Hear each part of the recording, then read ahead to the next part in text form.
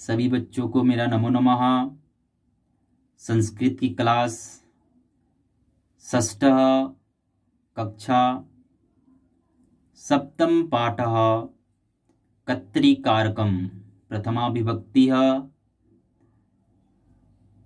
तो हम लोग बात करेंगे कि इसमें कत्रिकारकम का प्रयोग कहाँ हुआ है प्रथमा विभक्ति का प्रयोग कहाँ हुआ है। कत्री शब्द का प्रयोग मैं आप लोगों से कल बता नहीं पाया था। तो कत्री जो होती है, कर्ता, हिंदी में आप कर्ता बोलेंगे, संस्कृत में कत्री बोलते हैं। कर्ता जो होती है, कार्य को करने वाला, कार्य को संपन्न करने वाला कर्ता कहलाता है। एग्ज़ाम्पल के रूप में मैं बताना चाहूँगा, यथा, राम ने रावण को मारा। राम रावण हस्तव्यम। राम ने रावण को मारा। तो राम जो है, यहाँ पर क्या कर रहा है? मारने का काम कर रहा है। किसको? रावण को। तो कार्य को संपन्न करने वाला, कार्य को करने वाला कर्ता कहलाता है। तो राम क्या है यहाँ पर? कर्ता। जब भी आप वीडियो देखेंगे, बुक्स ओपन करेंगे वीडियो को देखते हुए बुक्स को आप भी मन, ही मन में पढ़ना स्टार्ट करेंगे। अच्छे से समझ में आएगा। चलिए देखते हैं। थोड़ा मैं रिविजन के तौर पर बता रहा हूँ। उसके बाद जहाँ पर हम लोग कल बंद किए थे, उसको स्टार्ट करेंगे। यह पठती सह प्रणव अस्ति। यह जो पढ़ रहा है, वह प्रणव है। प्रणव एक आदर्श छात्र अस्ति। प्रणव एक आदर्श छात्र है।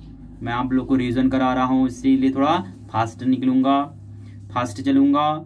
सह अध्ययनशील छात्र अस्ति। वह एक अध्ययनशील छात्र है। एक वचन का प्रयोग हुआ है, प्रथमा विभक्ति का प्रयोग हुआ है इसमें। सेकंड पैराग्राफ देखेंगे। या धावत तौ मृग याव द्वितीय विभक्ति है, द्विवचन है। धावत, दौड़ना। ये जो दौड़ रहे हैं, वो मृग हैं, दो मृग हैं। तव बने वसतः, घासम च खादतः। ये दोनों वन में रहते हैं और घास को खाते हैं। तव तीव्रम धावत। तव वे दोनों तीव्रम तेज धावत। दौड़ना, वे दोनों तेज दौड़ते हैं। ये तो अत्यो सरलो जीव भवत। ये तो ये दोनों अति सरल जीव हैं। बहुत ही सरल जीव होते हैं। मैंने बताया, इसके बाद नीचे पैराग्राफ आ जाइएगा। इति वृक्षा संति इति बहुवचन का प्रयोग हुआ है, क्योंकि यहाँ पर बहुत सारे वृक्ष हैं। इति वृक्षा संति, ये सब वृक्ष हैं। वृक्षा विशाला संति, वृक्ष बहुत ही बड़ा है। विशाल मतलब होता है बड़ा, बहुत ही बड़ा है।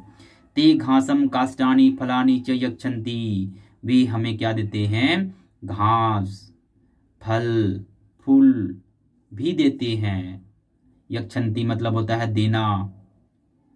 इति छायाम अपि यक्षंती सदा परोपकाराय च जीवंती। वे छाया भी देते हैं और हमेशा परोपकार के हित के लिए होते हैं। ऐसे परोपकार के लिए हित के लिए होते हैं? वे सभी को छांव देने के साथ में फल भी देते हैं, फूल भी देते हैं काष्ट भी देते हैं और छांव भी देते हैं। जब भी उनमें फल लगती है, वो परोपकार का काम करता है। सभी को बोलता है, आओ मेरे फल को आप खाइए। झुक जाता है अपने फल से और बोलता है, खाने के लिए। उसके बाद देखेंगे या पाठती सा प्रभा अस्ति यह जो पढ़ रही है वह प्रभा है। प्रभा एक शिक्षिका अस्ति। प्रभा एक अध्यापिका है, एक शिक्षिका है बोला गया है। सा संस्कृतम पाठयति, वह संस्कृत पढ़ाती है। सा प्रतिदिनम विद्यालय गच्छति, पाठयति च। सा वह प्रतिदिन, रोज विद्यालय जाती है, स्कूल जाती है और पढ़ाती है। च मतलब और। यहाँ से हम लोग कल खत्म किए थे पाठ को। आज पुनः नेक्स्ट जो बचा हुआ है, इसको स्टार्ट करते हैं। ये कुजतः ते कोकिला इस्तः यह जो कुक रही है, ये जो कुक रही है, ये मतलब होता है यह। कुजतः मतलब होता है कुकना, ती मतलब हुई कोकिला मतलब होता है कोयल इस्तः मतलब होता है है। ये जो कुक रही है, वह कोयल है। कोकिले कृष्णवर्णे भवतः, कोकिले कोयल को बोला गया है। कृष्णवर्णी मतलब कृष्ण भगवान को वर्ण करते हुए बोला गया है कि कृष्ण भगवान जो है, सांवले होते हैं, काले होते हैं तो कोकिले क्या होते हैं? काले होते हैं। ते मधुमास्ते कुजतः। मधुमास्ते मतलब होता है बसंत के समय। वे बसंत के समय क्या करते हैं? कुजते हैं। इति मनोहरम कुजतः चीतम च आकर्षतः। इति वे कुजते समय बहुत ही मनोहर, बहुत ही सुंदर महसूस होते हैं। आपने भी देखा होगा, कोयल जब कूदती है तो उनकी जो आवाज़ होती है, बहुत ही मीठी होती है। चित्तम च आकर्षित। वे सबको आकर्षित करते हैं। फिर से बता रहा हूँ, सुनिए ध्यान से। ये जो कुक रहे हैं, वो कौन है? कोयल हैं। कोयल काले होते हैं। वे बसंत के समय कुजते हैं। इनकी जो बोली होती है, बहुत ही मधुर होती है, बहुत ही सुंदर होती है। वे सबके मन को आकर्षित कर देती है। नेक्स्ट पेजेस देखेंगे। एता कन्या संती एता कन्या संति बोला गया है। एता मतलब होता है ये तृतीय वचन का प्रयोग हुआ है यहाँ पर। ये सब क्या है? कन्या है, लड़की है। एता, श्यामा, रमा, उमा चंती ये सब श्यामा, रमा च मतलब होता है और और उमा है। संति मतलब होता है है। ता मतलब वह। क्रीडाम क्रीडंती हसंती च। क्रीडा मतलब होता है खेलना। क्रीडती मतलब खेलते हुए। हसंती मतलब हँसते हुए। वे खेल खेलते हैं और हँसते हैं। या पश्यति, सा श्यामा हस्ती। पश्यति मतलब होता है पास में। या मतलब होता है वे। वे जो पास में हैं, वह कौन है? श्यामा है। आप लोग भी देखेंगे पुस्तक में अपना। संस्कृत की जो पुस्तक है, सबके पास उपलब्ध रहेगा तो अच्छे से आप लोग को समझ में आएगा। तीन लड़कियाँ वहाँ पर अपने अपने खेल खेल रही हैं और पास में जो खड़ी हुई हैं, वह श्यामा है। फिर से एक बार बता रहा हूँ ये सब लड़की हैं। ये सब श्यामा, रमा, उमा है। ये जो खेल खेल रहे हैं, खेल खेलते हुए क्या करते हैं लोग? हँसते हैं और खेल खेलते हैं। उनके जो पास में है वो कौन है? श्यामा है। नेक्स्ट पैराग्राफ देखेंगे। एतत् कमलम अस्ति। एतत् एक वचन का प्रयोग हुआ है, क्योंकि वहाँ पर एक ही फूल खिला हुआ है, एक ही कमल खिला हुआ है। एतत् मतलब होता है यह, कमल है। अस्ति मतलब होता है है। संति मतलब होता है है। भवतः मतलब होता है, होते हैं। यदा मतलब होता है, जब। तदा मतलब होता है, तब। कुजंती कुजना यक्षंती देना। ये सब मीनिंग्स जो है आपके शब्दार्थ में दिए हुए हैं। अच्छे से उनको शब्दार्थ को देखिएगा। ये तद अति मनोहरम अस्ति। यह सब बहुत ही मनोहर होते हैं। यह बहुत ही मनोहर होते हैं। कमलम जले भवती सुगंधम च धारियती। कमल जल में होता है और वह सुगंध देता है।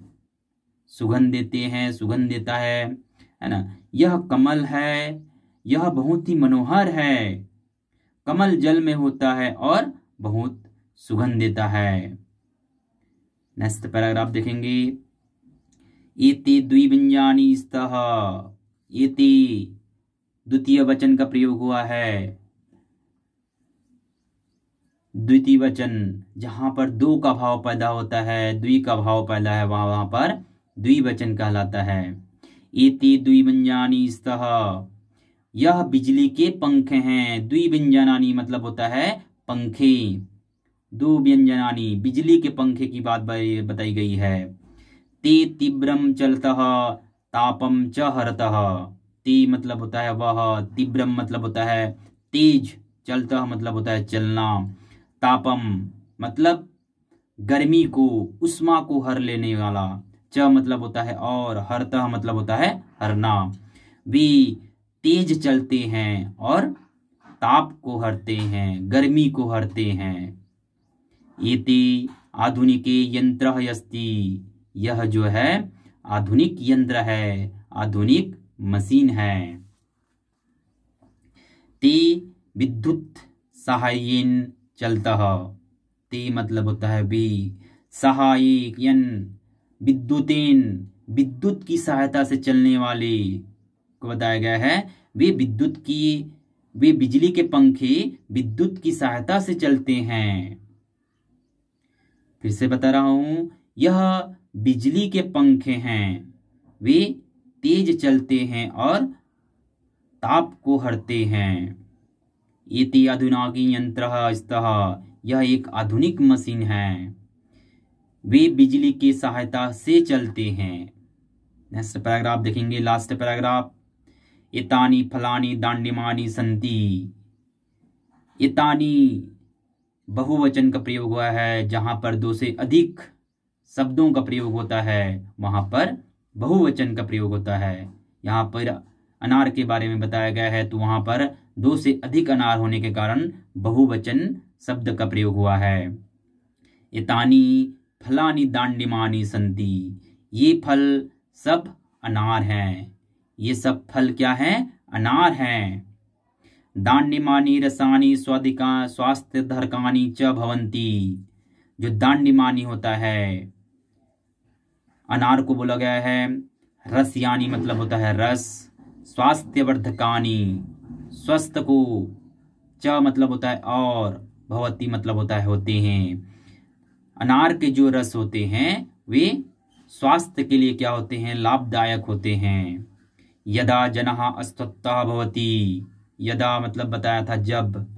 जब लोग अस्वस्थ होते हैं, अस्वस्था मतलब होता है बीमार। जब लोग क्या होते हैं? बीमार होते हैं। जना मतलब होता है लोग। जब लोग बीमार होते हैं, तदा दांडिमरसम पथ्यम भवती स्वास्थ्यम च रक्षन्ति तदा मतलब होता है तब। दांडिमरसम अनार का रस। पथ्यम मतलब होता है लाभदायक।